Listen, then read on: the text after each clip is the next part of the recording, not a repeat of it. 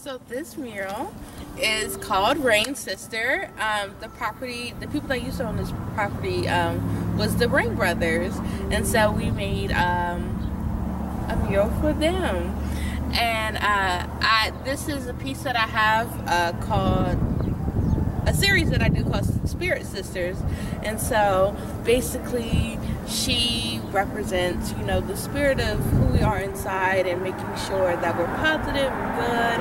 And the fact that the work that they were doing here was so positive and good. And we also added the water droplets by it to signify the rain and making sure with rain things grow and succeed. And so that's what we came up with that.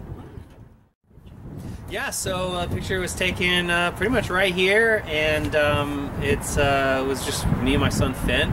And uh, last year, when it's nice out, we love having a yard, fenced-in yard where we can hang out, and we were doing that, hanging out. And uh, I'm always looking for just any sort of chance I can get a good shot of him and uh, sharing it with the world.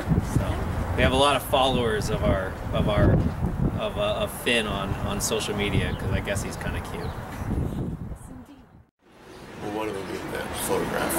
Um, that was a building of the street, a house, um, and then the, the, the uh, uh, garage, the cinder block garage, and uh, just the way it's, you know, disheveled door with the spray painted font on it and everything, it just really struck a chord. So that was a, you know, a snap. I think I liked it uh, when I found out the, the, the Girl Sprouts really liked that, you know, image or something, gravitated towards it. And I thought you know, that kind of gives me hope.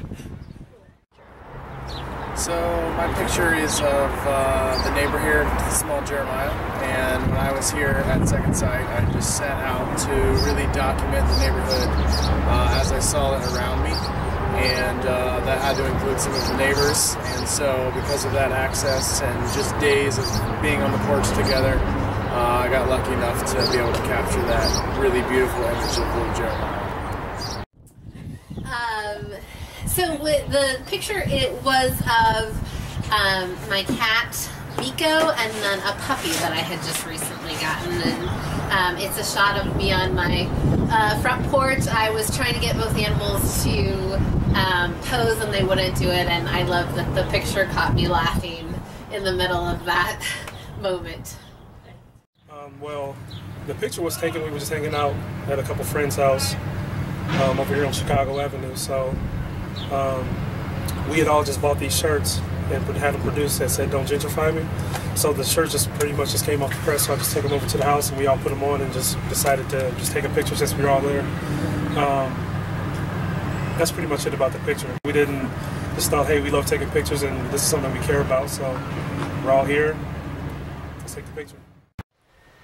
Well, the the picture was is capturing a moment that doesn't happen often, and, and it involves for me it involves kind of the elements of the earth and so of the world and that are natural, and so those, those rainbow moments you just don't see them too much actually here in Ohio. When you do it, I you capture them, and today we have the ability with our phones. So I just happen to be right here, and and and for me also it, it's it's a rainbow over my community, my neighborhood, two neighbors, very different neighbors, uh, but very good people, and so.